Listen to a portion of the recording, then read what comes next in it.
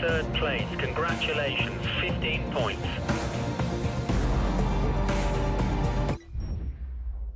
You've moved up to fourth in the Drivers' Championship.